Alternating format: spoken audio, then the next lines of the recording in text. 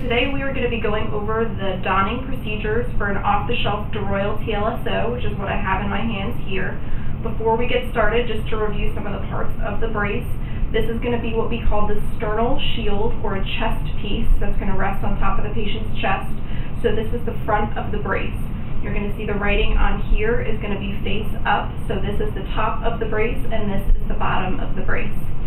Is attached by four elastic straps on the abdominal portion of the brace, connecting it to the back panel. All right, the, this portion of the brace has shoulder straps that go over top of the shoulders. So you see it goes over like a backpack in the back. Some of the braces will have under the shoulder straps, which would not have this extension piece in the back, but that would be specified on the instructions that you are given. So this is the back portion of the brace, this is the bottom, and this is the top. The over-the-shoulder straps connect to the chest piece, and the under-the-shoulder straps would also connect to the chest piece. So when you're removing the brace to get ready to take it off, it's easiest to do this by loosening the four straps and sticking them to the Velcro panel on the side. Do this for both sides and then remove the side Velcro panels to separate the brace into two pieces.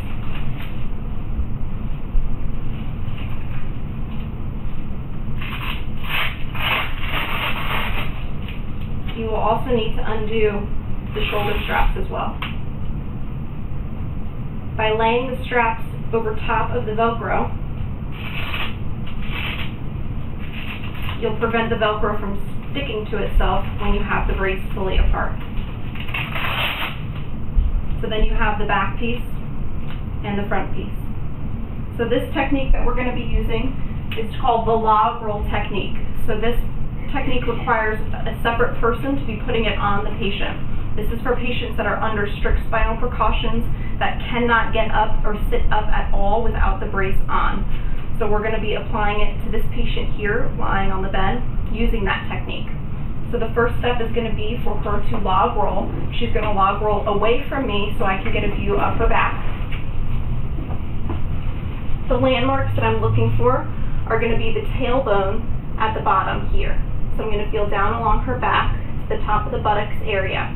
That's going to be where I want to line up the bottom edge of the brace. I'm going to first slide the Velcro panel underneath her at the waist level is going to be the easiest place to slide this underneath. I'm going to line up the brace with the tailbone. You'll notice that the curve of the back panel should be fitting into the natural curve of her spine as well. I'm going to also tuck these straps over top of her shoulders so I can get to them easily afterwards. If you have the under the shoulder straps, you can tuck them just under the arms there.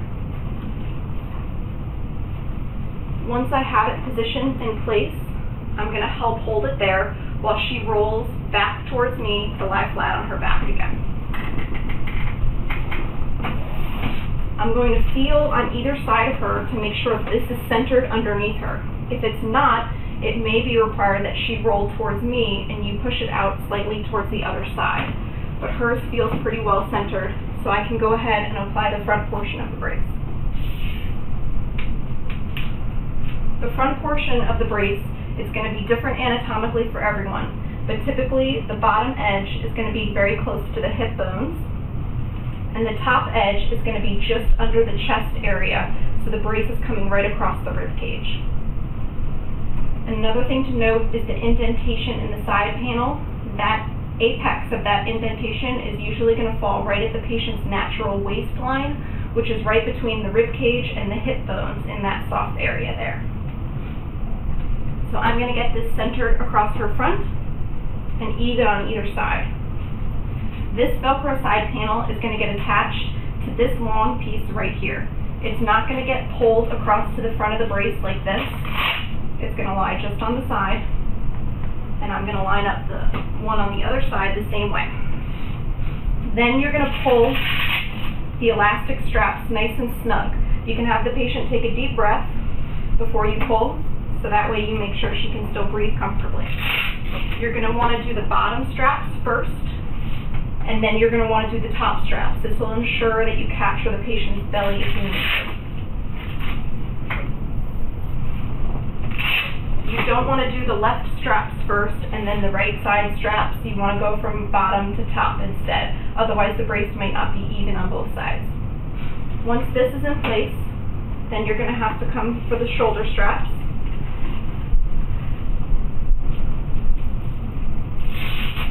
They're going to get attached to the metal rings on the chest piece. These do not need to be pulled as snug as the abdominal straps do. I'm going to adjust my Velcro here and I usually put one hand underneath the strap and pull it tight over my hand just to give a little bit of extra slack in there. If you pull those straps too tight, it's going to pull the whole brace and cause it to ride up on the patient.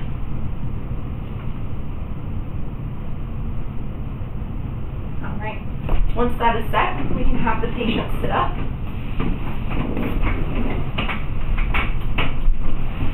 One thing to note here with the chest piece on this brace, you want it to be sitting about two or three fingers width from the patient's sternal notch. That is where the chest bone ends and the soft part of the neck can be felt. So you want a good amount of distance there. Now, if the patient is slouched or has a very hunched posture, you'll notice when Audrey slouches, it's going to come very close to their neck. So it's important if you notice it fitting like this that you remind the patient to try to stand up tall and straighten out their back and you'll see how that pulls away. This is meant as a reminder to try to keep the spine in alignment. They should have enough clearance across their thighs to be able to sit like this comfortably without the whole brace riding up. But that's the most common issue that we have with this brace is that it may ride up over time. If that happens, it may be possible or it may be necessary for you to loosen the straps across the main portion of the brace and pull it down slightly since it's going to have a tendency to ride up over. Your practitioner should have provided you with a set of written wear and care instructions. If you no longer have these and would like an extra set, please contact our office. If you're having any additional questions that weren't answered by the videos today, please feel free to contact our office as well, and we're more than happy to set up a Skype appointment with you or get you into one of our multiple office locations to be seen by a certified practitioner.